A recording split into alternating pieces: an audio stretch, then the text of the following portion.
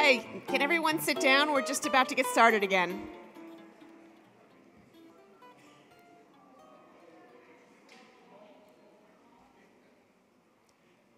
Great, thanks everyone for, for taking your seats. Welcome back. I hope you're all refreshed and revived. Uh, and uh, please help me wel welcome uh, to the stage our panelists for the Providing Healthcare session. Uh, unfortunately, we found out this morning uh, Stephen Lewis was not able to join us today. Something very urgent came up uh, at the last minute, so we're sorry to miss him, but we've got a great group here um, as well. So if I could ask the, um, the panelists to, to take the stage and, uh, and our fa fabulous uh, moderator, Tony Barber.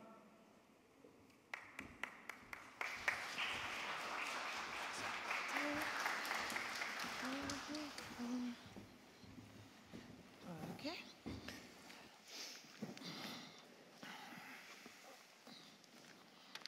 All right. Great. Well, thank you uh, so much for being here on this uh, beautiful day in Chicago. Uh, I'm so pleased to be back. I'm actually from Chicago, so yay, from Northbrook.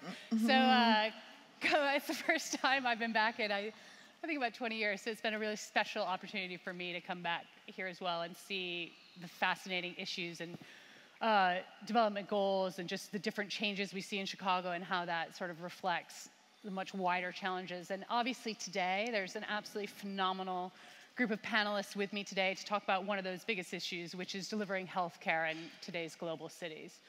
Um, this is an incredibly complex topic. It's a difficult topic.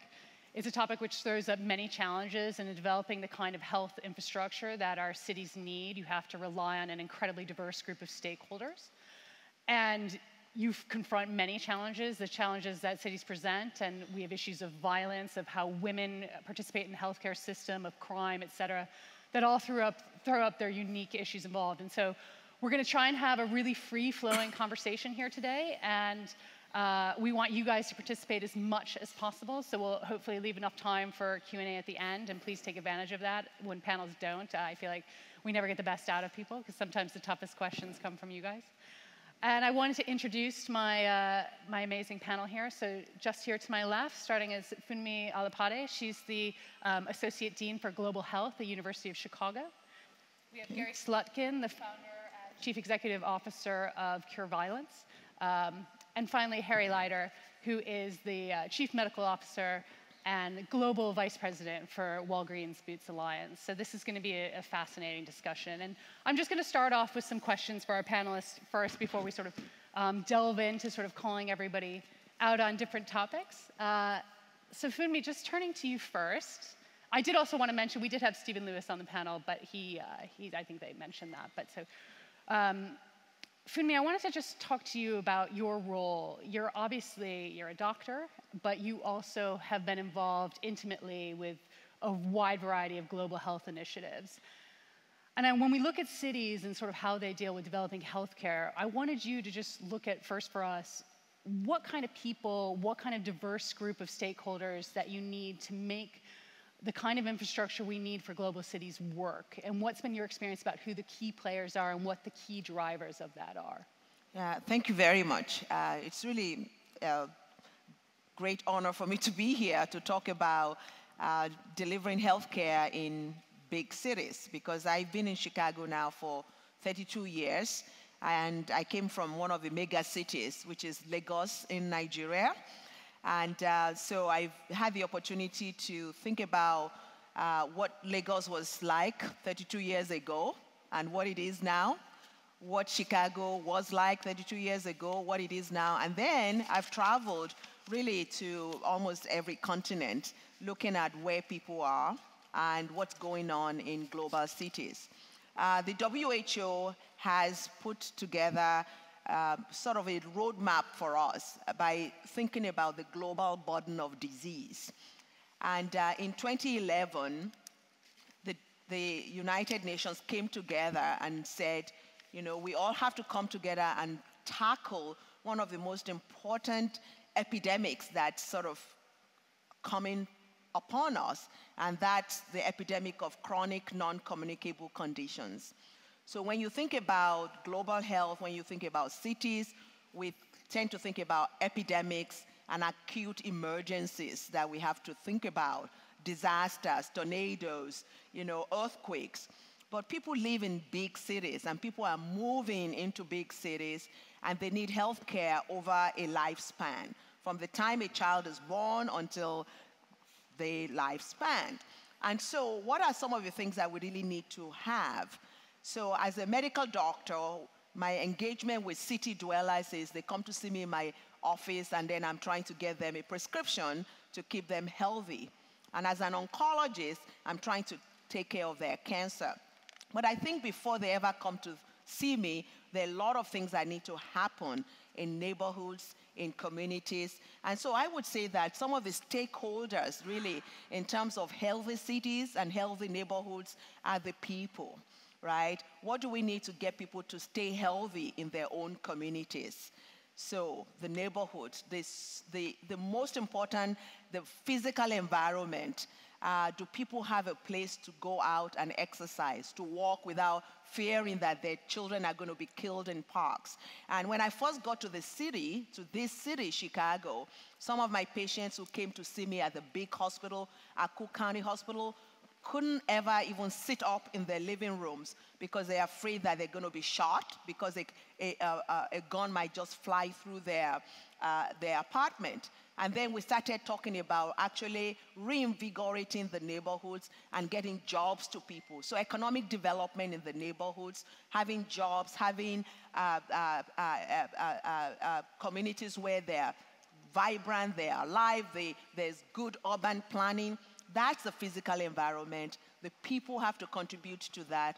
Those are, the, I think, the most important stakeholders. And then beyond that, we're talking about education.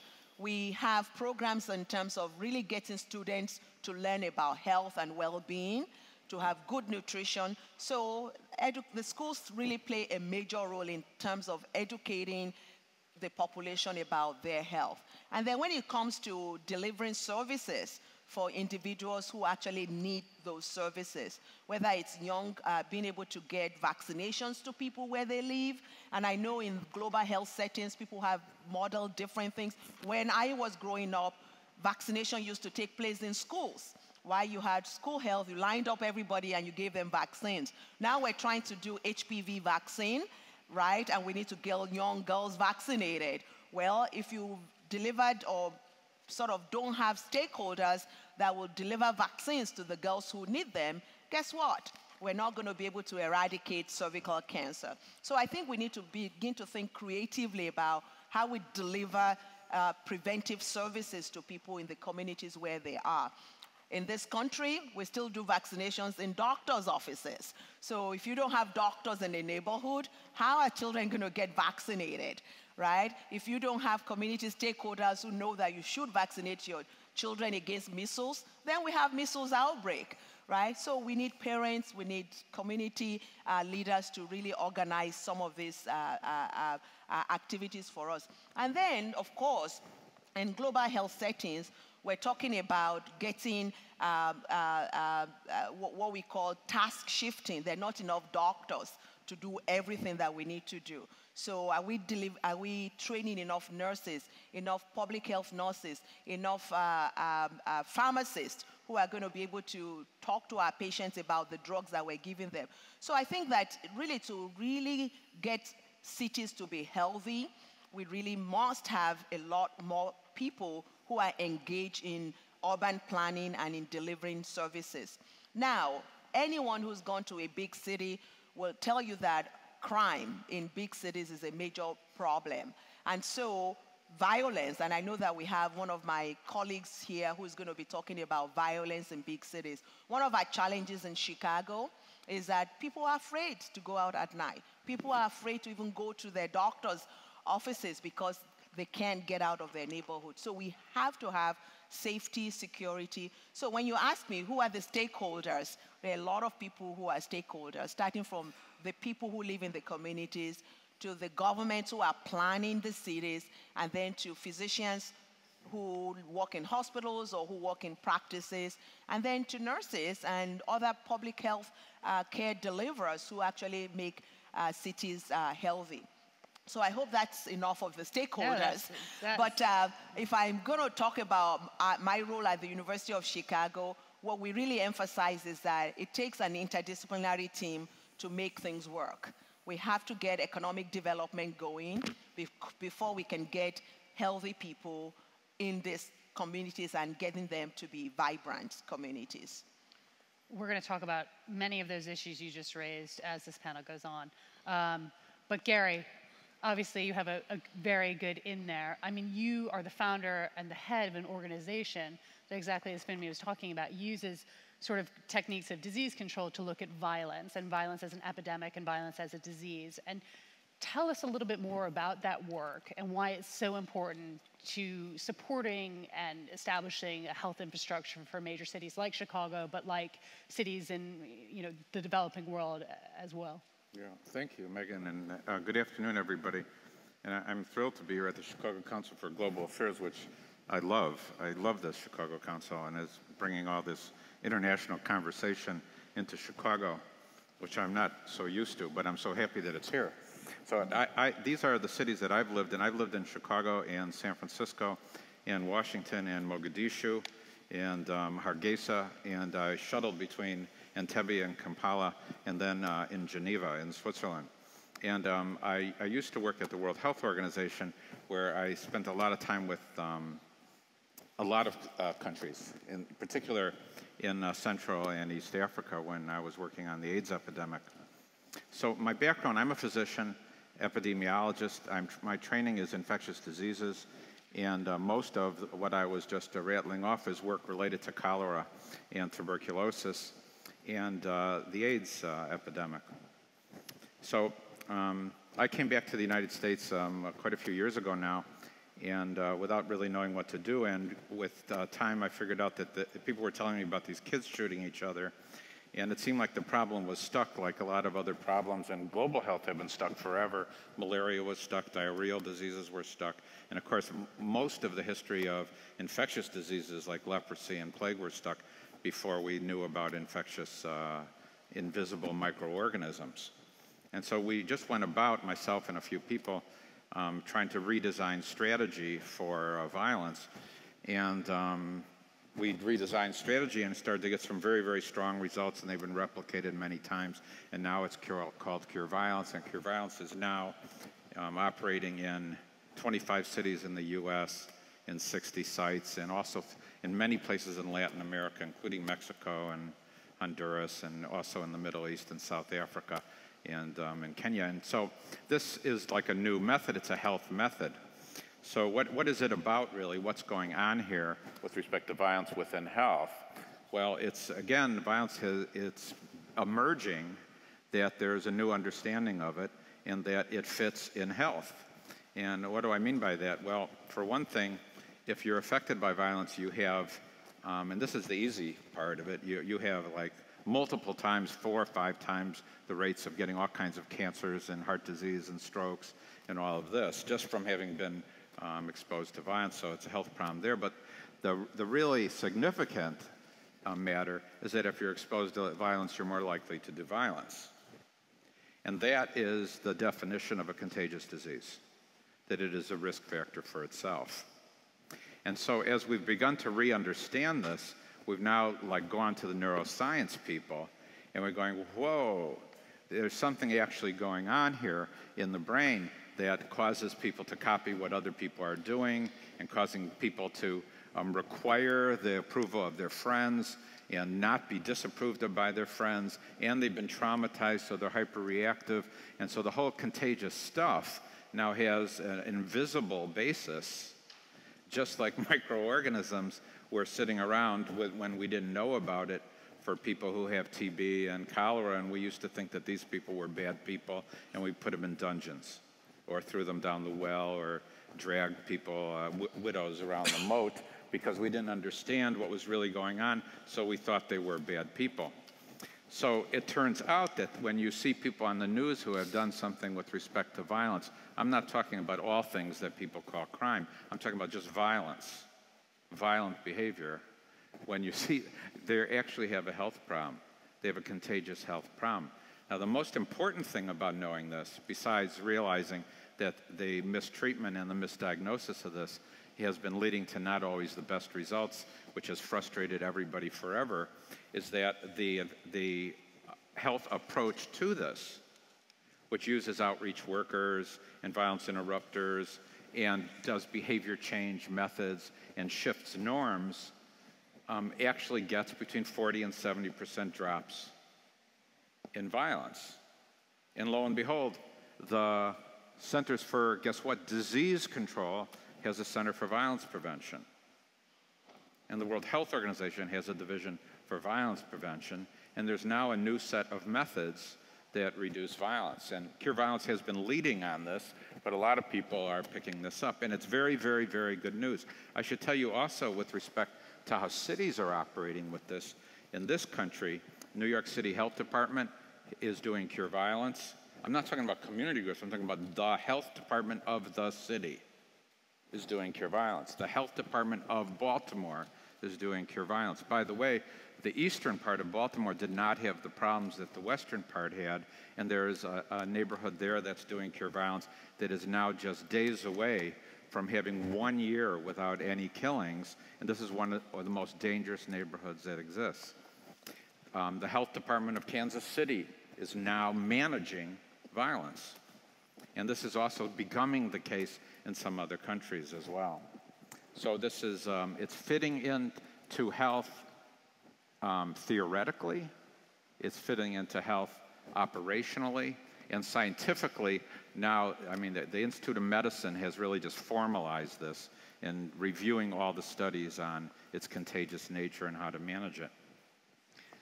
Harry, I want to pick up that point with you, obviously, as someone who spent a long time in Baltimore. Yes. Uh, yes. with, we were just talking about that before we came out. But also someone who is not perhaps traditionally thought of as on the front line of healthcare when we're talking about confronting violence or we're talking about some of these other you know, epidemic type of issues.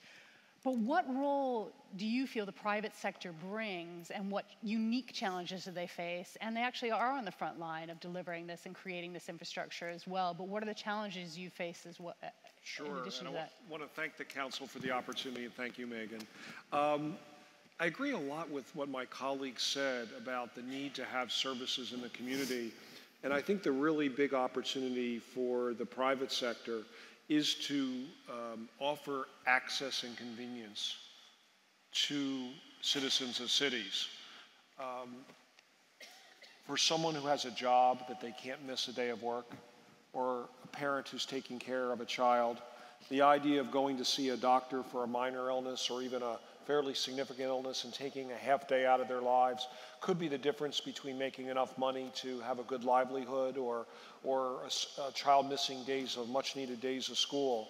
So I think the opportunity for private sector companies like Walgreens, and, now we're a global company uh, called Walgreens Boots Alliance, um, is to really come up with solutions in the community. Um, so a couple statistics, and this is not an infomercial for Walgreens at all. But because we've grown so big, 65% of the population lives within three or four miles of a Walgreens in the United States. 65. 65%. Uh, 50% of our 8,300 and some stores are in medically underserved communities. So we think of about perhaps here in Chicago, Walgreens being on the, in the Gold Coast, which is only blocks from here in a affluent neighborhood, but half of our stores are actually in neighborhoods like the south side of Chicago that are medically underserved, where there aren't traditional providers and doctors free, you know, available. Funmi mentioned immunizations, which is such a huge public health issue, and we administered 7 million immunizations last year, mostly flu, but now because of that, you can go into almost any drugstore and get your immunizations for adolescents and for adults. Generally, um, retail stores don't give uh, pediatric immunizations because we're concerned about fragmenting care. In other words, having pediatricians feel that they're not following a young child, you know, in a continuous way. But I think what the what the private sector can do is use capital and deploy resources to make care more accessible. Just to get you thinking, a couple statistics that might you might find interesting. The average doctor's visit in the US just for a routine visit, nothing, not a complicated visit, but a routine visit, probably costs about $100. So if you have health insurance, and with healthcare reform, more people do, but not everybody. If you have health insurance, you might pay $25 of that a copay. If you're early in the year and you're in the, does everybody know what the deductible phase is, right? That part of the year where you're paying out of your pocket, unfortunately. And most people's health plans these days have deductibles that are like $3,000 or $4,000. A doctor's visit could be $100 out of your pocket. Seeing a nurse practitioner in a retail store like a Walgreens or a CVS in a retail clinic generally costs about 60 or $70 and you can do that and get in and out maybe in about a half hour and not miss, miss work. Another statistic you might find interesting is that I'm a primary care doctor, I'm an internist, and I've seen a lot of patients early in my career that had diabetes, which is, by the way, is one of the four big epidemics we're facing in developed countries, which are obesity, diabetes, um, cancer, and then Alzheimer's are, are some of the big ones that we really need to worry about. But we hope as a primary care doctor that you'll see a diabetic patient two to four times a year. Those are the guidelines. You prefer four if you can. The average diabetic comes to a pharmacy 20 times per year to pick up a prescription. So if you think about the opportunity of a pharmacist to help with coaching around health behaviors and to advise patients not only about their medications, but about things like exercise and stopping smoking and these lifestyle issues that we're talking about, it's a tremendous lever to improve healthcare. And that's why I actually came to uh, work in this job uh, two years ago and, and, moved to Chicago because it, I, the opportunity to do what we call population health, but to do it in the community with 25,000 pharmacists and several thousand nurses and all these facilities across the country now across the globe. So I think the opportunity for uh, the private sector is to solve these issues around access, convenience, and affordability at scale, where you can deliver these solutions uh, across large populations in countries across the world. Okay, great, thanks. I want to um, there's been one sort of theme that for me, and it's probably because I write for the Financial Times, that sort of emerges that is one early common strand. And for me, you discussed it about economic development and inequality. That sort of cuts across what we're talking about access, about affordability, about addressing those issues. And one thing that stood out for me is just how vital the economic development aspect is in terms of addressing healthcare. Can you tell us a little bit more about what you see as models or model programs, model uh, scenarios that can help sort of jumpstart economic development, that reduce inequality, and that improve access, that reduce violence, that you know that that can be a core building block of developing the kind of health infrastructure we need to see. Yeah. So, you know, I I love Chicago, and I have there have been a lot of experiments that we've done in Chicago that's actually uh, making the city a much more vibrant city. And I, I use the example of our beloved Chicago Bulls. Um, I started my career at Cook County Hospital on the west side of Chicago, and the neighborhood was not anywhere you would want to walk past 6 p.m. And then the city decided to build the stadium on the west side of Chicago. And all of a sudden, it became the most vibrant neighborhood to go to because all the uh, fancy restaurants started opening on the way to watch the Chicago Bulls play basketball. The neighborhood got gentrified, and all of a sudden, Walgreens was there, and some of the best restaurants in Chicago are there. And now, in fact, a lot of young people have moved back to the city to live on the near west side, right? Because of having a hub of economic development on the west side of Chicago. We're excited that we're going to have the Obama Presidential Library on the south side of Chicago as a way to anchor economic development on the south side of Chicago. The University of Chicago is the largest employer of people on the south side of Chicago because it's a research center and it has a hospital there. But it's the only major hospital that has to take care of a vast uh, number of people who live on the south side of Chicago. And we can't do everything. So there are other smaller hospitals that are working there. But if you look at how healthcare has been distributed in this city, there's been such gross inequity. And that's why when you look at per capita, the number of doctors that are on the north side of Chicago, where people with insurance and who have, you know, great money have, and you see the numbers of doctors who have to serve people on the south side of Chicago, you see the huge inequity in the way resources are distributed in our city. We sent our medical students out to go and ask primary care doctors on the south side if a woman wanted a mammogram, where would they go? And it turned out that the primary care doctors working on the south side of Chicago could not name a stable location where women would get a mammogram on the south side of Chicago. No wonder the south side of Chicago has the highest, one of the highest mortality rate from breast cancer. A black woman in this city is twice as likely to die from breast cancer than a white woman. And that's just because of the way women access health care. And so I think there's some of the economic development that needs to happen is to actually have vibrant communities where there are jobs, where there are hospitals, community health centers. Uh, for a very long time, we didn't have community health centers on the south side of Chicago. And now, because of some of the federally mandated uh, uh, policies, we now have community based health centers. And so I think that number one, when people have money, they can buy a lot. We also found out that, in fact, sometimes there were what we call food deserts. So you're diabetic, and I've told you you needed to have, you know, good nutrition, to uh, eat lots of fruits and vegetables. But there are no stores in your neighborhood where you can get fresh fruits and vegetables. So I think some of the really important things that we need to talk about when we're talking about cities and we're talking about the inequities is we've got to figure out how to really put resources in the poorest neighborhoods to actually get people in those neighborhoods to have jobs and to be able to have good schools where they can actually want the same thing that we all want, which is to stay out of hospitals. Absolutely. I just want to mention that it's not only the Bulls that play at that stadium, which is particularly relevant this week. Go Blackhawks. Um, game seven coming up.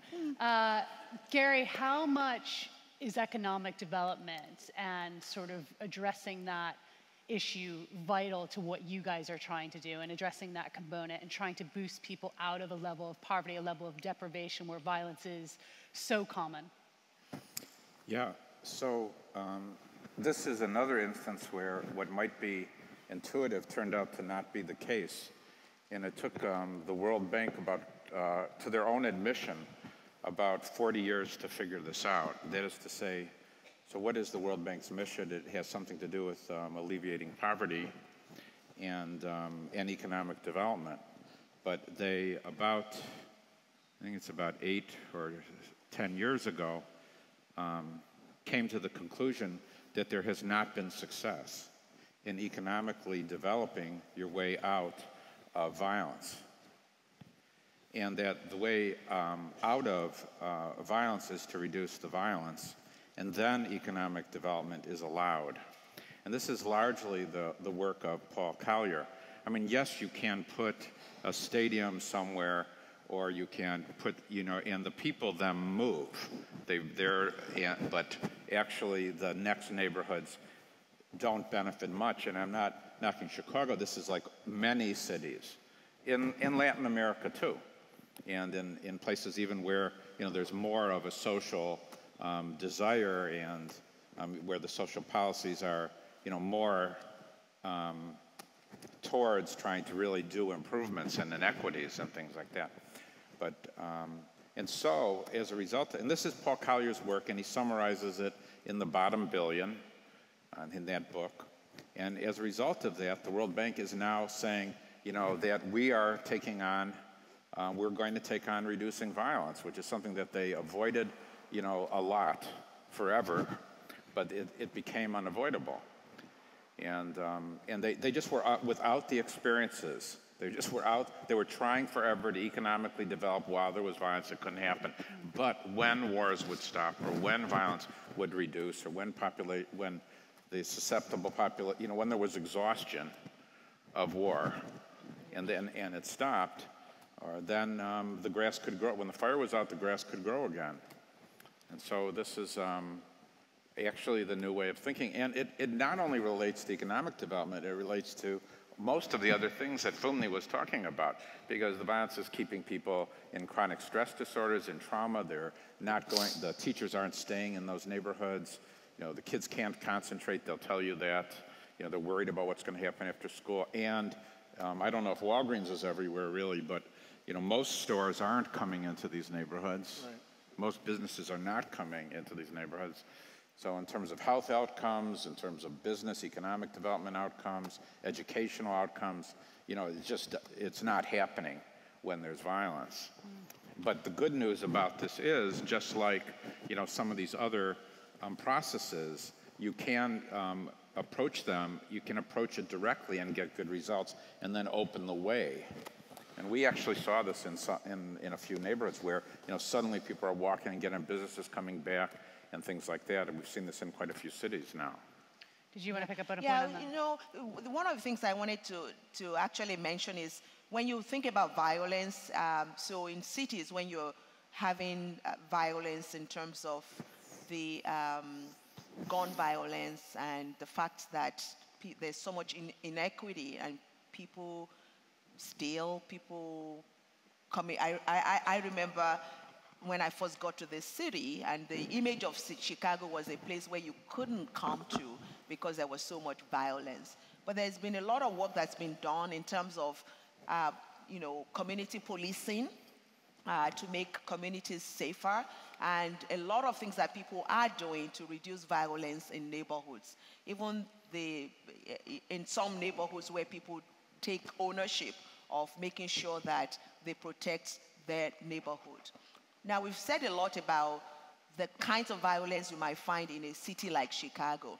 But another type of violence that I've seen that actually is allowing, that has ceased and is allowing economic development across Africa is all these wars and political instability. So, one of the things that I really think is very important when we talk about stakeholders making life better for people is good governance in places where there hasn't been democracy. And I came out of Lagos, Nigeria, and out of uh, sub Saharan Africa because the economic conditions across sub Saharan Africa was becoming Im- impossible for anybody to have good livelihood because we have political instability in almost every African country with military dictatorship and no good governance. And if you look at some of the fastest growing economies that we're talking about now, they're in sub Saharan Africa, where people are actually trying to develop themselves by voting. And Nigeria is going to change over and have another governor, another government starting tomorrow. And if you look at how the economic prediction is, is that these countries, by being more stable, are going to be able to develop their cities, and all that has happened when there hasn't been wars and military dictators having military coups upon military coups across sub-Saharan Africa. That is economic development that's allowing people to come out of poverty, that's allowing us to be able to even tackle some of the problems with AIDS, HIV.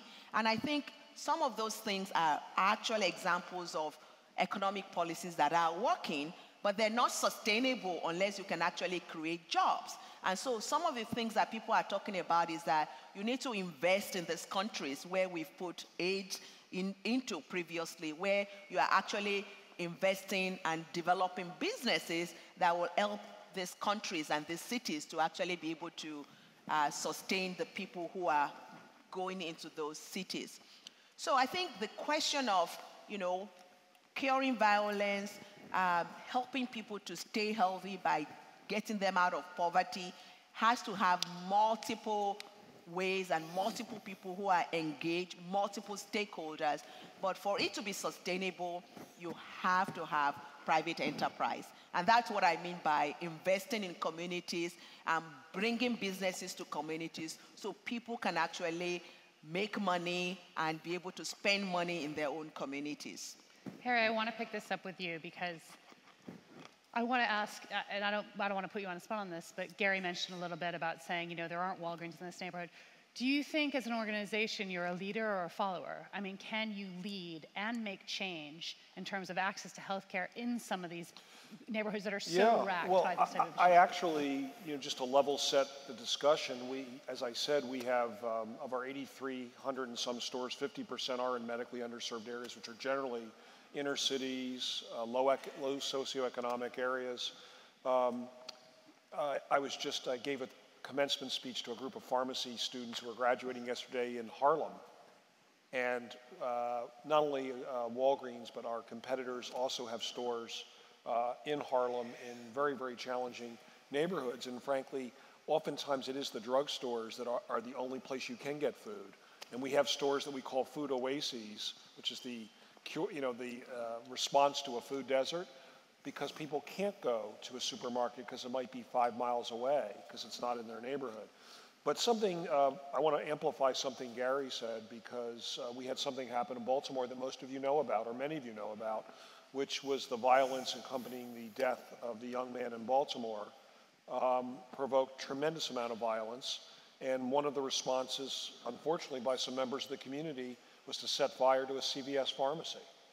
And I know where that pharmacy is located. It's in a very disadvantaged area, very challenged area. We happen to have stores not far away.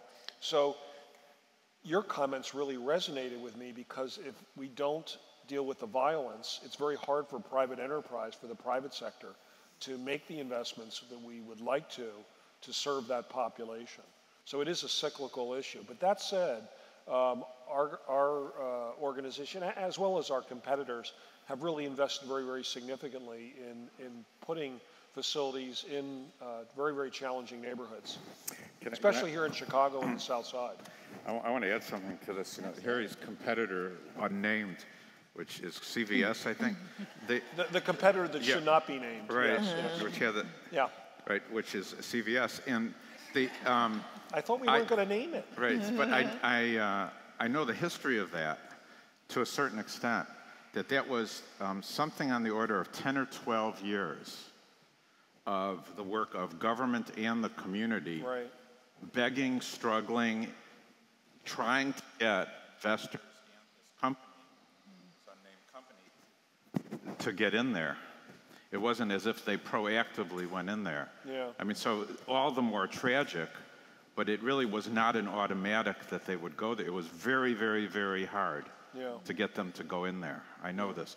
And, and, you know, what will happen next, we'll see. Yeah. Well, I don't, I don't know much about CVS, and I don't, you know, we don't like to name them. But anyway, just all kidding aside, uh, since we're basing this conversation in Chicago, Walgreens was founded in the city in Chicago. The first store was built here. So the natural expansion, at least in this city, was in all the neighborhoods because it was Chicago that was first. I think CVS has a little bit of a different history. But um, I can tell you that people are very brave who work in some of these neighborhoods. And some of the stores are 24 hour stores, they're open all night. I mean, it takes a certain kind of individual and a certain amount of commitment to serve the community to want to be, to want to work in some of these these neighborhoods, and uh, a lot of dedicated people. And, and and they're not just the pharmacists; they're oftentimes the clerks who make twelve dollars an hour, the pharmacy techs who don't make a lot of money. It's not just you know the pharmacists and the nurses who earn a good wage. Yeah, I just want to say something that you know, eh, for even for these neighborhoods that we say have the most violence, they also have people who live there who need to be served, and this is why one of the most important things that we need to consider in sort of developing and putting services in is we have to have what we call community engagement. And what, when we have gone to the communities to have focus groups and to actually ask, what do you want in Woodlawn or in some of the South Side Chicago's, uh, uh, uh, uh, South Side neighborhoods? They want exactly the same thing that we all want. They want to be able to have a park. They want to be able to walk, and there are people who will take care of things that you bring to their neighborhood. So that's why it's very important to have a diverse workforce. Okay, we have found, and there was a very nice article in the New York Times last week talking about having more black doctors who want to work in black neighborhoods, right? They are not afraid to work there, but when in fact there are no hospitals or no places to put your office in, you can't be a lone ranger working in that hospital. So some of the innovative things that I see happening, for example, at the University of Chicago, we have students who want to make house calls. We have students who want to do community health and want to, uh, uh, as part of being a doctor, want to be a doctor in the South Side neighborhood. They would like to be able to have a Walgreens that their patients can go to. So I think it's a cyclical uh, uh, uh, issue where you think there's neighborhood and because of that you can't go there. So part of what we need to do and some of the stakeholders that actually need to be able to solve the problem of all of the big cities is that you need diversity. We need to embrace the diversity and we need to use that diversity to think outside the box in terms of solving the problems of these neighborhoods. And so what happens, at least I have been in Chicago for 32 years, is that we discuss about the problems in the neighborhood without even ever having stepped foot in the neighborhood. And so you can't develop services when you don't know the people you're developing services for. The same thing in the global health setting. You can't solve the problem of Lagos unless you've been to Lagos and you engage the stakeholders in Lagos to start to to figure out how to deliver services to people who live in Lagos. So I think it's really one of the things that we believe is that you have to have community engagement, you have to have partnerships within the community to be able to actually deliver services and improve the health of these communities. Megan, I'd, I'd yeah. like to just build Please, on. go I- I ahead. I, I just want to talk pen. about um, health infrastructure a little bit in, in this sector, because I mean, what, what is being described here is almost like the absence of. So there, some of the physicians need to go into the neighborhood, and then there's physicians who are in tertiary centers like UFC, where I trained, and and Walgreens is now serving like as part of the health infrastructure. Why? Because of the absence of a health infrastructure and because of the weakness of the health sector. And so what we have here is, in, in mostly in the world, we have ministries of health, of which you know they're being run um, not by the president's brother, but by his like third nephew or cousin or something. You know, so it's really very delegated, inferior positioning. You have health uh, departments in the U.S. that don't have nearly the interaction with mayors that, for example, police departments and planning and finance ministries or departments have. And this is, um, this is really a, a giant problem, is because the work of the health sector is doing the invisible work, frankly, of keeping TB away, of keeping um, diarrheal diseases down, of keeping the vaccine preventable diseases down. I mean, it's, just take Ebola, for example. As, um, Ebola shows up all the time in Uganda. But they, they have health workers and they squash it. They know what to do. There's no health infrastructure in Monrovia or Freetown. Why? Because of war. But anyway, they might not have invested in it in the first place. And then it became, went into the cities, completely destroyed these cities for like years, frankly.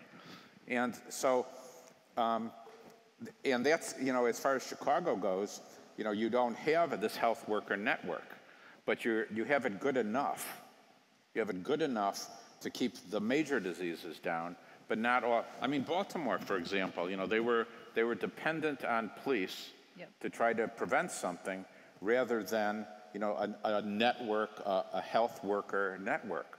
It's you know the violence interrupters, the outreach workers, um, the hospital responders who are part of the Cure Violence Network. It's a health worker system. And that's what you know really allows the resilience. I mean, throughout Latin America, in Asia, you know, health workers are all over the place. Lagos also, by the way. Lagos had, yeah, I mean, it's not all over the place. This is a, a, a city that is like unimaginable in terms of its size, complexity, and crowding, like Johannesburg. They had a few cases. Mm. Yeah, And but actually, think about. they about, were able to control it. Yeah, think about Ebola. Let's talk about Ebola, for example. That's a, you know, that's one thing that we, everybody in, that lives in a city will be devastated if there was an epidemic that we couldn't control. And that's why having a really robust public health system that can respond to such an emergency is so important. So we live in a global village where one airplane ride away from SARS. Do you remember SARS? It was, you know, Toronto, you know, Asia, and everybody thought, you know, this was going to be a major devastation. It actually was, it caused significant economic disruption when we had to tackle SARS in the big cities. Ebola, talking about violence and war, we've been doing work in Liberia for the last, you know, five, uh, ten years because it's a post-war, post-conflict country, and our emergency room physicians have been going to train physicians in Liberia to help them develop their health infrastructure, and Sierra Leone and those smaller countries in West Africa. However, when Ebola came to Lagos, because there was actually a public health infrastructure that worked, mm and because there was resources and money. And guess what? I went to Lagos just as they were dealing with the Ebola epidemic. And do you know the stakeholders who came to control the Ebola in Lagos? Yeah, there were people in the public health sector, the person from the Ministry of Health, but there were people in businesses that didn't want the business to shut down, who got hand sanitizers, who got, you know, uh, uh, uh, a way to get people quarantined. I saw the telephone uh, uh, uh, companies giving uh, uh, ambulances, giving cell phones, and telling the ministries of health, we'll fund the cell phones, just make sure people stay at home and they don't come out. So there's a lot of stakeholders that have to function in a city to take care of emergencies and to also make sure that the city works. So that's a good example of a mega city that was able to squash Ebola because there was an infrastructure in place. And this infrastructure in Lagos was built in the 80s um, by Ransome-Kuti, who was the Minister of Health then. No. So I want to turn to Harry on this just for a second there's a sort of a little bit of a debate here in terms of what does make, you know, what is the infrastructure? Do we have, are like Walgreens filling in gaps of an sure, infrastructure that sure. is weaker than it should be? I mean, should that be the sure. role? Or, and, well, I, I, was, as Gary was talking, I was starting to take a little bit of exception to his comment, and then he sort of pivoted to healthcare workers. Mm-hmm. So uh, I, I, think I uh, disagree with maybe the front end and totally mm. agree with the back end. Mm. I think when it comes to having an infrastructure to deal with uh, public health threats like serious communicable diseases, uh, I, I think I totally agree, and we're all on this, I think, on the same page that the United States and many countries don't have the developed kind of system that we really need uh, that leverages um, minimally trained healthcare workers and that you don't need physicians to do all this kind of work. You need a network that's large, mobile, out in the community, even in rural areas, especially when you're dealing with diseases like tuberculosis. On the other hand, the notion that we need an infrastructure of physicians, it'd be interesting to see what my colleagues have to say. I think, Funmi, you started to comment on that. We don't need a broad infrastructure of physicians to do everything. And the fact that we can have a pharmacist measure someone's blood pressure and find that they have really bad hypertension and could have a stroke in the next month or two and identify serious hypertension, or have uh, a technician measure someone's hemoglobin A1C and find out that someone who didn't know it has diabetes, or that we can be doing immunizations uh, in the community. I think in many cases, uh, what uh, we've done and what our competitors have done is an infrastructure of sorts that provides access uh, convenience, and care at a much lower price point than the traditional system. So I think we have to be a little more nuanced and refined when we say we don't have infrastructure about what services we're talking about. And now the last point I'd like to make about this is that with healthcare reform, um, CMS, the federal government, a branch for Medicare and Medicaid here in the United States, has for the first time in history made a public goal that within the next few years they're going to move 50% and then eventually 80% of the reimbursements to providers, hospitals, and the physicians based on quality metrics, not just fee for service. So, in other words, the traditional system always was the more you did, the more surgeries, or the more visits, the, the more money that was paid out to doctors and hospitals. But the whole system is being converted so that not only is it how much you do, but it's whether you actually do quality work. Well, for the first time, there's now major incentives being put on hospitals and doctors to make sure that patients stay on their medications, to make sure that they get vaccinated, to screen for diabetes, to screen for high blood pressure, to finish the immunization treatments uh, like for HPV. So there's this economic incentive for the traditional providers and hospitals and doctors' offices to collaborate with organizations like ours so that they hit these quality goals and actually get more compensation. So the first time in my 25 year career, we actually have an economic environment that's starting to align the incentives where different elements of the system need to work together.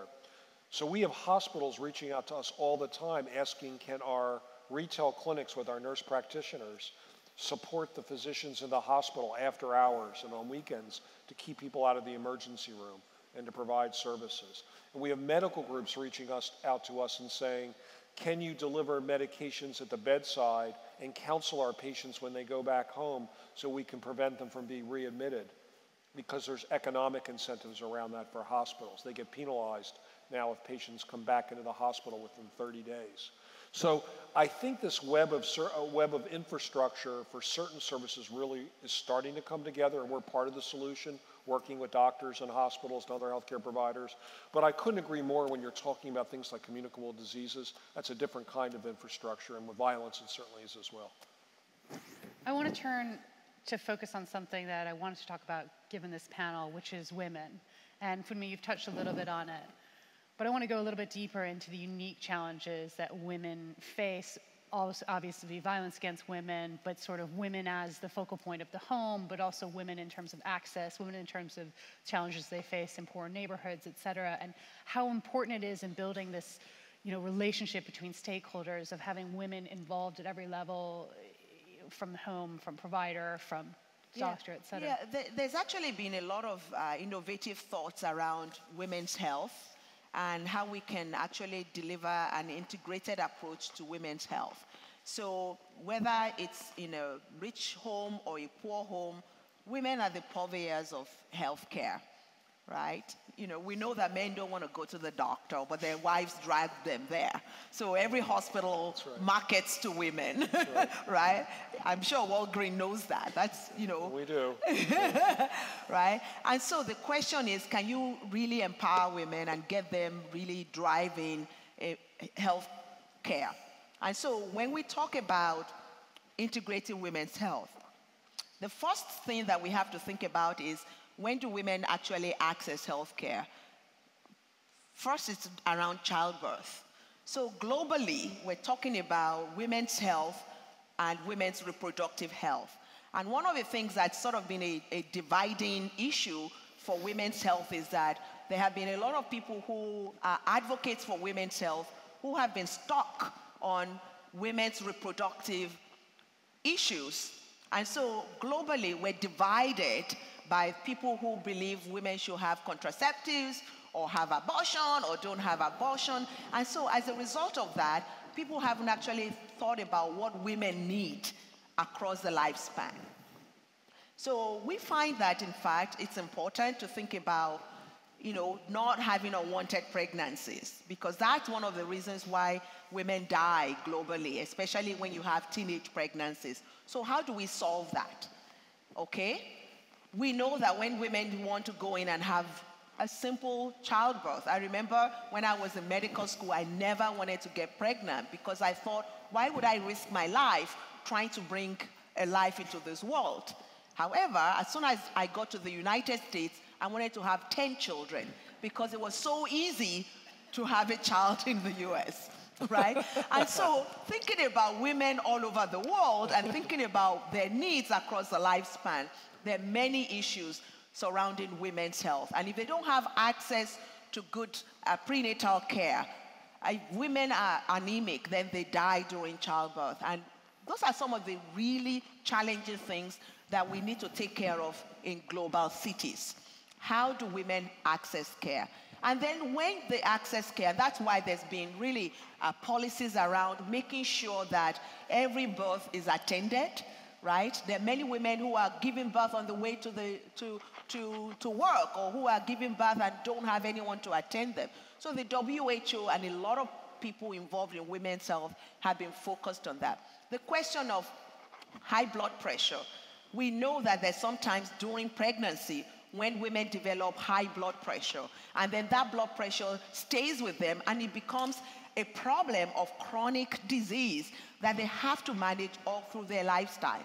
So having a Walgreens where a woman can actually go in while they're doing their well baby check, somebody is checking their blood pressure, somebody is checking to make sure they don't have a high blood pressure, they're not stressed, you know, global mental health, postpartum depression. These are all things that happen to women.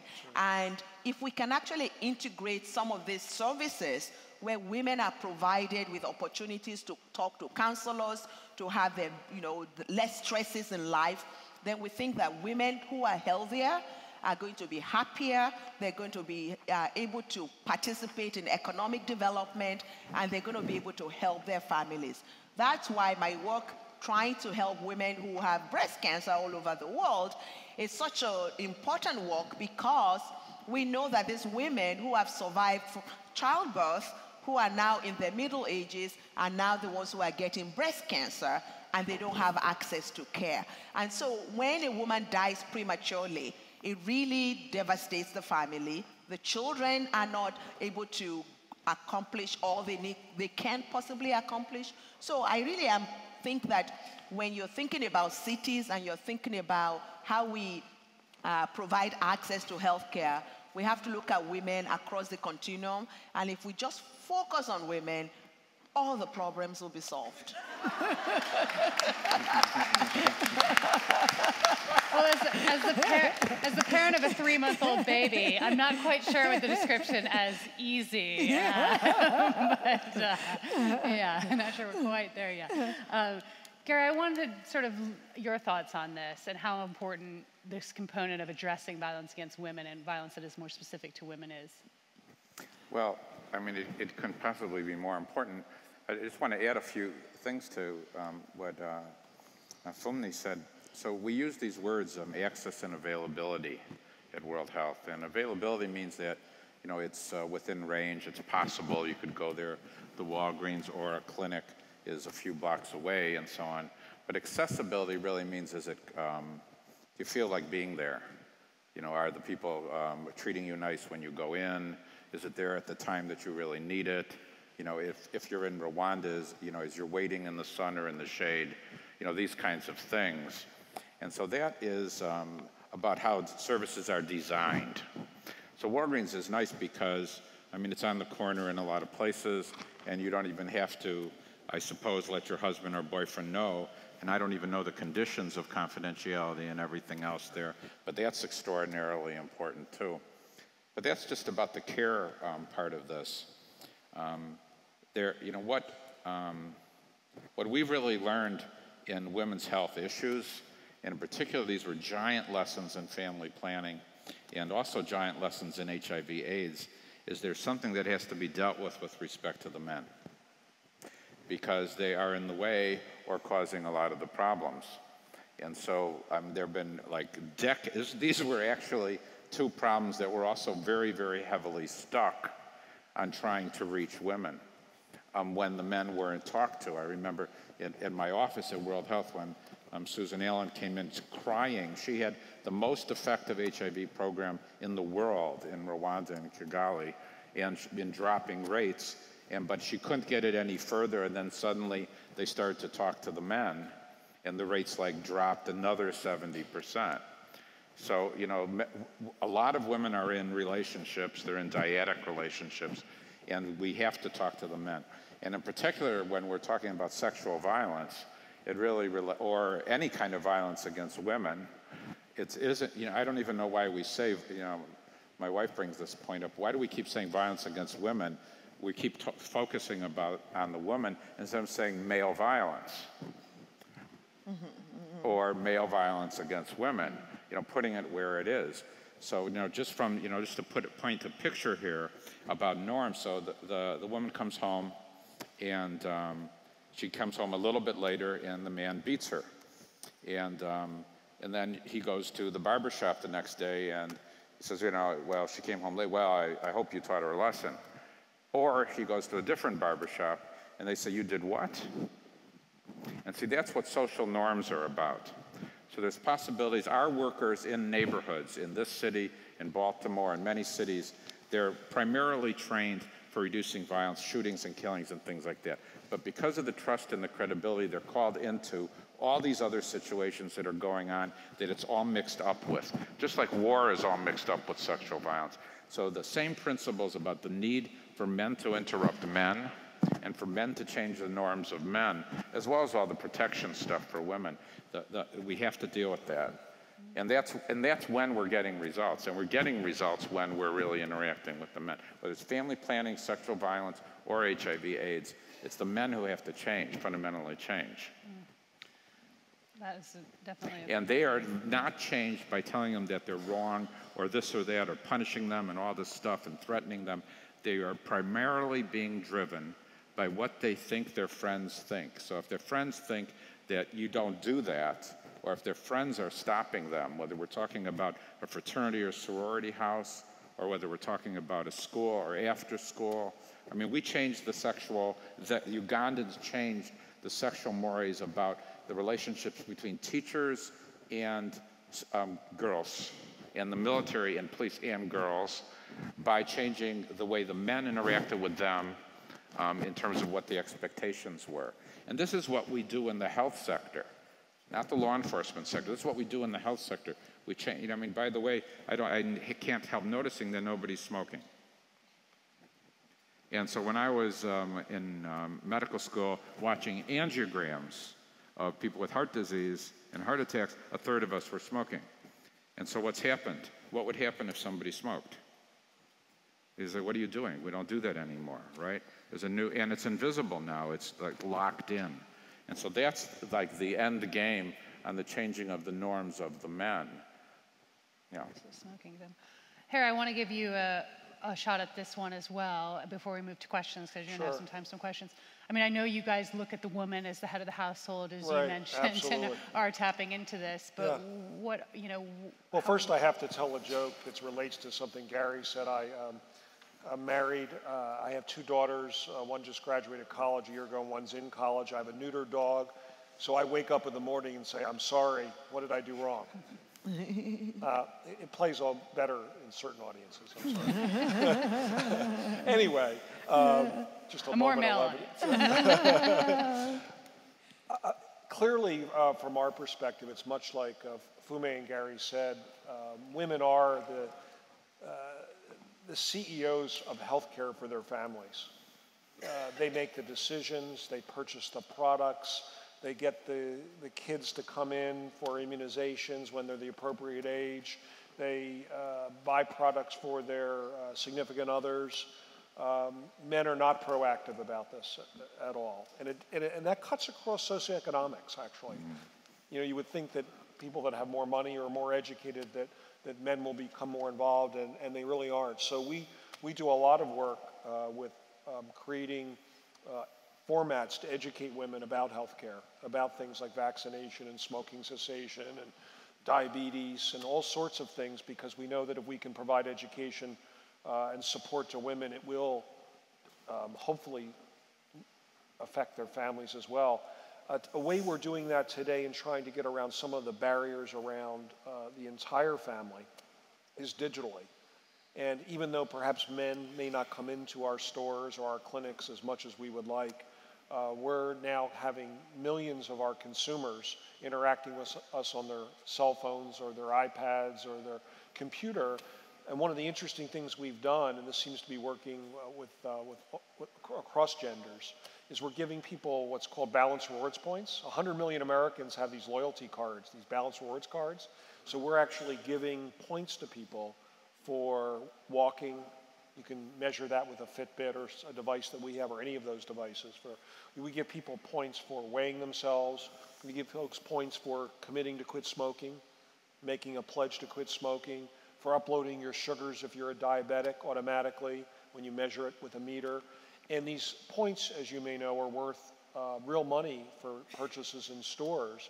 So I think one of the ways we're trying to get around this issue of uh, men and children maybe not being, or younger folks not being as involved in their health care, is to try to use technology as an attractive way to get people engaged in their health care. And uh, I think to date we've had about 25 million miles walked and recorded by people uh, using devices and earning points. We have 250,000 people buying digital blood pressure scales and blood pressure uh, cuffs and scales to track things. So I don't want to go too deep into it, but uh, women are critically important, but I do think the whole world of digital health is providing us a way to um, get past the traditional barriers of getting to much uh, broader uh, groups of, uh, of, patients and consumers. I didn't know about that. I need to get a Walgreens card and go, okay. right. I did say I would leave some time for questions, and we do have, we've got about, uh, you know, oh, some ones come up on the screen. I don't know if that's allowed because no one even raised their hand. I feel like that's unfair. But uh, mm. I, am going to go to the person raising their hand. So I'll go to you right there. No, you, yes, you right there first. Yes. Thank you. Uh, my name is Kathy Tate Bradish. This question is really for Gary Slutkin. I wonder if you could tell us just a little about where your Cure Violence has been the most effective and why you think that is, why you think that city probably helped with it. And then what's with Chicago? And I know you're having excellent luck in some neighborhoods, but are you getting pushback? Can we in this room help? Um, and what, what could other cities learn a little bit from where you've had your successes? Well, there, there's, um, there's been a lot of success in Chicago. Actually, the evidence base for cure violence in Chicago is probably stronger than in any other city. I mean, there was uh, a study of seven years of work with a 10-year baseline with four different statistical methods done by four universities uh, funded by the Department of Justice in this city, showing 40 to 70% drops in shootings and killings, 50% drops in hotspots, 100% reduction in um, retaliations in the setting of a murder in five neighborhoods, in, in our confidential interviews showing that these workers were the most important people in these guys' lives, and these guys were shooters. And, um, and that they were well on their way to all these other good things in their life, etc. And there's been two other sets of evaluations in this city. And likewise, Johns Hopkins and CDC did evaluations getting 30 to 50% drops in Baltimore. And New York City has um, results too. So the, if we're getting 50% drop in San Pedro Sula, also Puerto Rico, also Cape Town. Um, and there's other, um, actually in some places in Honduras, it's more than that. It's a lot more than that. In, in East Baltimore now, there's a place, as I said, where it's nearly a year without any um, killing, and it was a, a, tough. So, you know, what, what is success? Is it reductions in shootings and killings, or is a city, or is it a city adapting the model? I mean, New York City tripled um, the uh, cure violence approach a year ago. There was no, there was no um, communication strategy, there's no political strategy. I mean, it was um, the decision of the government to do that, and, um, and they're getting good, good results in a lot of places. I mean, the, the pushback on this approach is, that, is principally is understandable. I mean, it's a disruptive technology, it's a new method. I mean, it's, um, it, it, it push, it pushes back on the conventional idea that people are bad people, that they need to be taught a lesson, and that we are serious about this uh, lesson and, and all this kind of thing. And it, it gets rid of the idea of uh, bad people. And, you know, what do you mean the health problem? What do you mean a health sector? You know, these guys. So, um, you know, it's, it's still quote unquote new. So, um, you know, where are the best places? It shifts. You know, there's suddenly, there's like a really super program going on in a new place. And uh, so, as, as far as Chicago goes, you know, I, I think that, you know, this, this city could benefit from uh, more of this. Um, and uh, we're here to help. I mean, this is where we started. Uh, we've been in a lot of, Cure Violence is in a lot of demand from a lot of places. And, you know, there's another thing, too is, uh, is the, how, do, how does one look at this? Is, that, is this looked at as competitive or is it looked at as synergistic? And you know, this is synergistic with whatever, you know, law enforcement strategies are improving everywhere. Law enforcement is getting more enlightened. Law enforcement, you know, despite everything that everybody's saying, you know, they're trying to do a better job. We want them to do a better job. But it's, it's not fair to think that that's the only thing. So motor vehicle fatalities. You don't just do speed limits and like have a sign every five steps and get the speed limit down to five miles an hour. There's only so far you can go with that. You got to do something else. You divide the highways, you know, to prevent the head-ons. You know, the, you make the car safer. You put seatbelts, reduce drunk driving. Got to do something else. So you approach the. We're just a different angle into this problem. Yeah, that's great. We've got time for I think one more. They're gonna, they're gonna kill me. Okay, right in the back there, on the left. You, yes. Thanks. My question is mostly for Harry Walgreens, but I'd be curious to know what everybody thinks about this. You made a passing reference to healthcare reform, and um, I'm sure everyone in this room is aware that we're you know a few weeks away from right. a major U.S. Supreme Court decision that could have the unfortunate effect of kicking uh, millions of people off of their newly acquired health insurance. Obviously, we hope not, but right. could right. have that impact and the majority, overwhelming majority, um, of the newly insured are in cities. Um, so my question is, what is the private sector doing to prepare for that possibility? Um, the possibility that many, many people you know, will not be able to make their 12 trips to Walgreens to get their right, diabetes right. medication if they can't afford right. it. Right. It's a very um, good question and also a very difficult question because there is no one single way to prepare and there's no macro solution for that. Uh, the subsidies for lower income individuals who are uh, signing up for health insurance under healthcare reform is really the issue that's at stake, right?